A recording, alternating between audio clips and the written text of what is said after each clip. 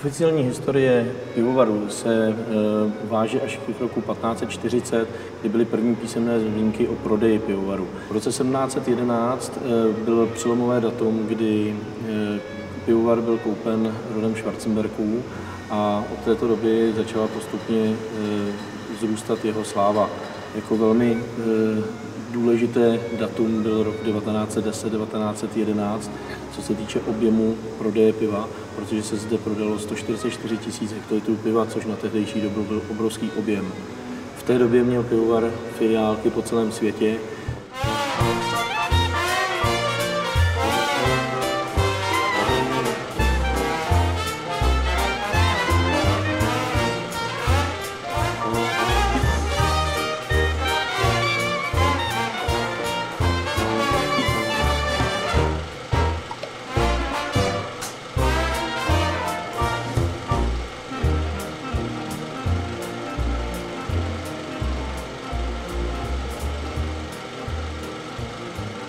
O našem pivovaru by se dalo říct, že opravdu vyrábí klasickou technologií, to znamená původní tradiční českou technologií.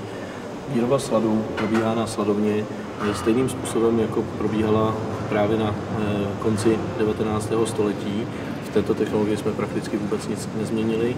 Varna eh, je klasická varna z 20. let 20. století, je renovovaná samozřejmě, ale principy té technologie jsou stále stejné.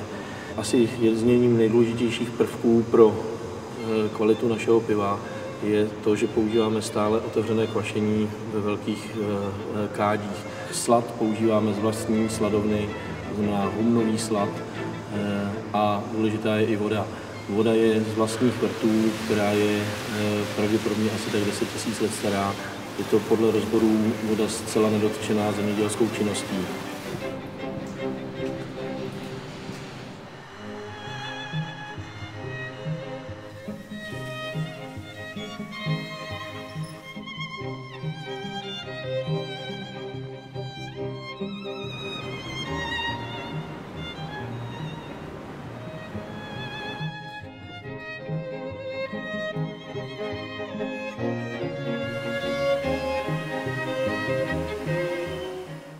Hlavní značkou pivovaru je stále Platan 11, ale e, nutno říct, že naší vlajkovou lodí je Lobkovic Premium.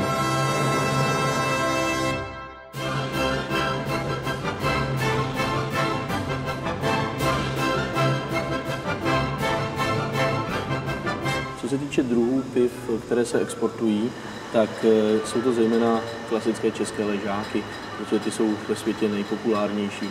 Ale e, exportujeme i různé speciály a v posledních letech nám stoupá i export piva na